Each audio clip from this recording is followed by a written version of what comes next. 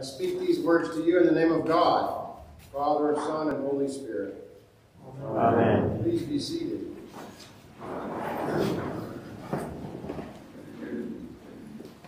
Good morning, St. Albans.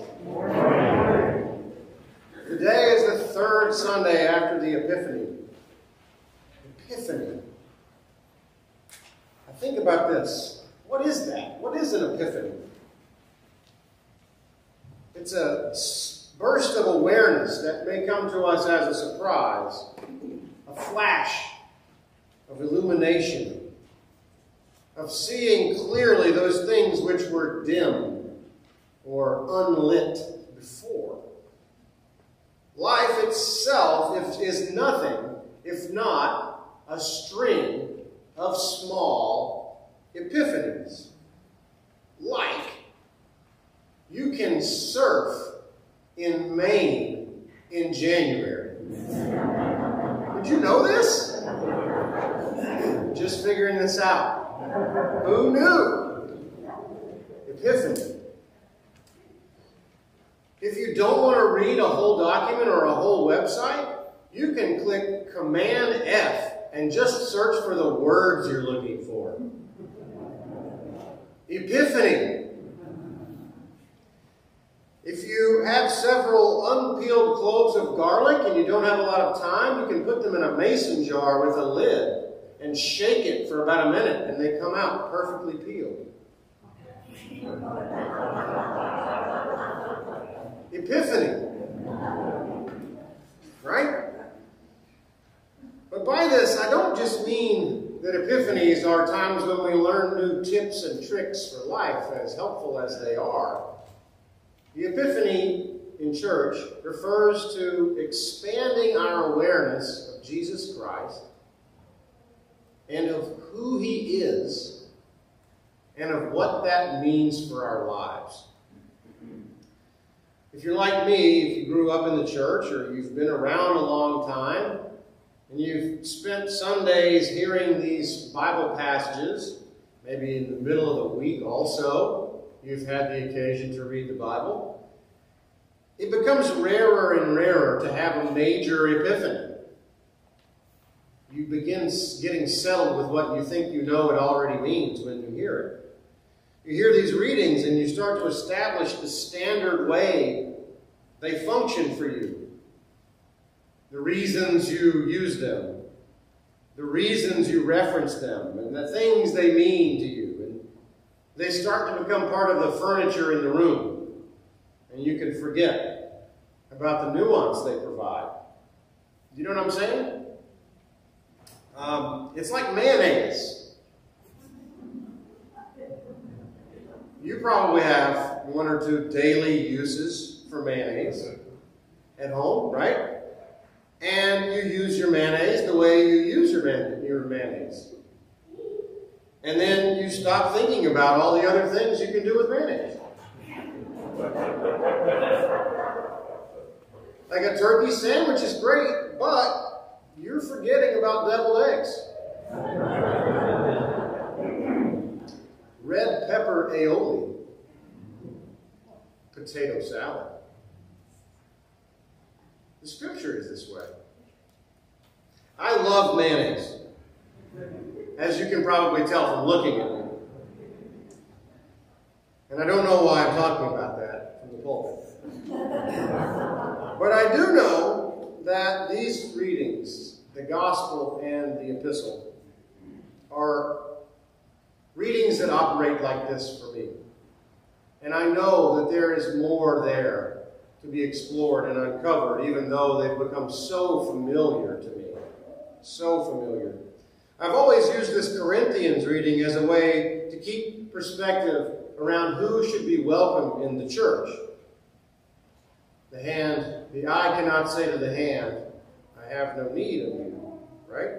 Everyone must be welcome in the church, or we aren't being the church. No one is expendable. I've read it to mean that a healthy body is a diverse body with many different members, or that it has a lot of complexity, but there is a unity of purpose. So we're different, and we're busy, but we're unified in the Spirit. We're the body of Christ.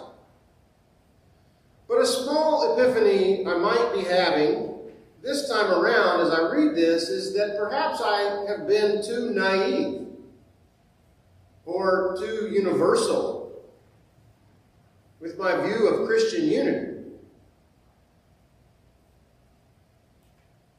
This year, my new thought was that body parts are physically connected to each other and have a unity of purpose. They serve a common purpose and a common body. A hand cannot say to the foot, I have no need of you, because they're physically connected. So I wonder about our connection. What is it that makes us connected? Paul tells us it's the Spirit as we're baptized into the body of Christ. But perhaps the very inclusive nature of this metaphor that I tend to focus on, the inclusivity piece, and I wonder if it might be limited to those who are fulfilling some purpose in the body of Christ. God intends to include all, perhaps that inclusion actually demands something of us. Like, at the very least, perhaps it demands of us an answer to the question how are our lives connected to the mission of God?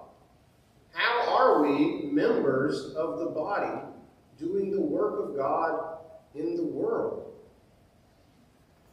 And if you wonder just what is the mission of God in Christ, you really don't have to look much further than this gospel reading. To preach good news to the poor and release to the captive and recovery of sight to the blind and the liberation of the oppressed. You know, since Jesus is God and since he's saying that this is his purpose, it sort of feels like that's what we're supposed to do if we want to serve God's mission. Because the church really doesn't have a mission outside of God's mission. When you think about it, we only exist to get involved in the support of whatever it is God is up to. And perhaps Luke 4 is a handy summary of that preaching good news to the poor, release to the captive, recovery of sight to the blind. Believing in the gospel is less about putting it all together mentally and more about having trust in our hearts and the fundamental belief that God has got our back. God has got your back. If you are in prison, God is all about setting you free. If you are poor, God wants to bail you out.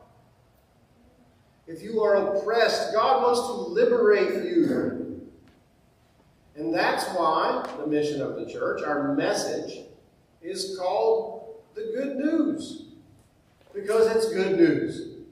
It's not a confusing formula that we have to study and grasp intellectually with leather-bound books from hundreds of years ago. It's pretty simple. It's liberation and life and acceptance. And that's how we know when we've got the gospel.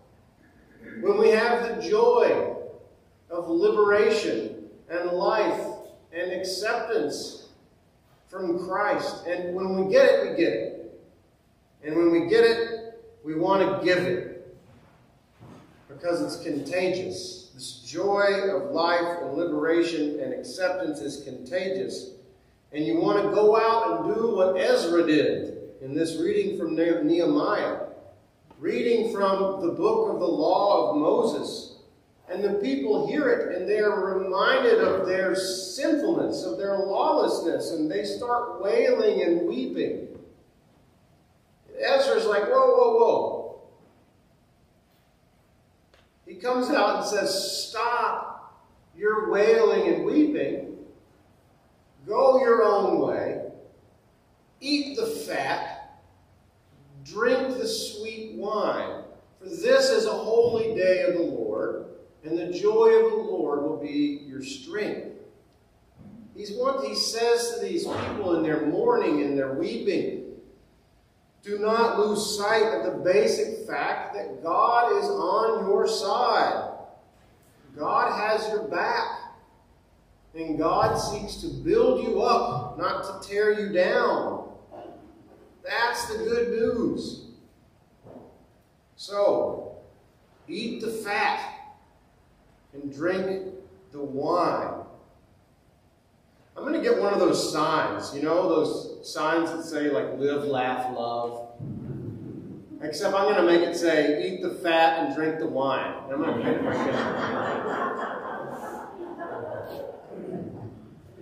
Because we need a reminder of this. We have, through this pandemic, we have forgotten how to celebrate. Our humanity, our souls are weary.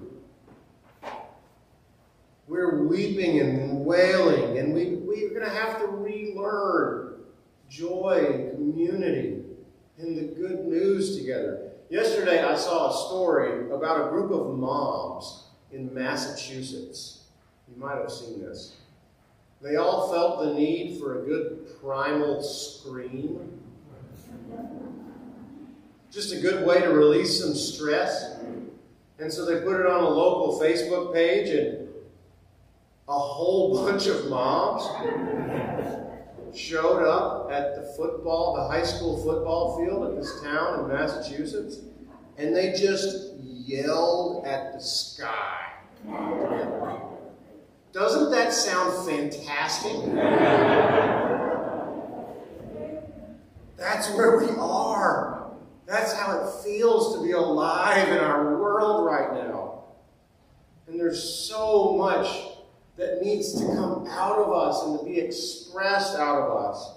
I know, at least for myself, I have been so angry at times at the world, at my neighbors, at my family members, at my friends, at the government, at the situation, and at all of these reasons for my anger have changed along the way. And I have a new awareness of my own mental health needs, those of my loved ones, and of what I must do to maintain my own self care. And screaming sounds like it could be a great part of that just want to say, if that's you, if that's where you're feeling, you are not alone. This is part of us right now. And maybe you don't feel like talking about religion. You just need to let that primal prayer out. Maybe in the car on the way home. Or maybe you should find a football field. But we can't lose sight of our joy. We have to express this stuff we're feeling, and we have to remember the discipline of celebration. To eat the fat and drink the wine, because we've forgotten. Maybe we should hold a service of screaming at St. Albans. Maybe that's what Ash Wednesday. Just let her rip. Get our ashes. We have to take care of ourselves. And that starts with honesty. It starts with feeling the things we feel and talking about them and making peace with them. It starts with eating the fat drinking the wine, finding our joy. Maybe it starts with the courage to reach out and tell somebody you're not okay. That you need to go talk to someone. Or go see a doctor make a change. Or maybe if it's on a different level, it just means you need to go try going to the movies again. remember the movies? Or go to the ocean. We live here. Or go to a restaurant or whatever you need to do safely, of course, but to take care of yourself and to keep in touch with your joy. Don't lose sight of your joy because, as Ezra says, and this was my epiphany, the joy of the Lord actually is our strength. And now may that scripture be fulfilled in our hearing today. Amen. Amen.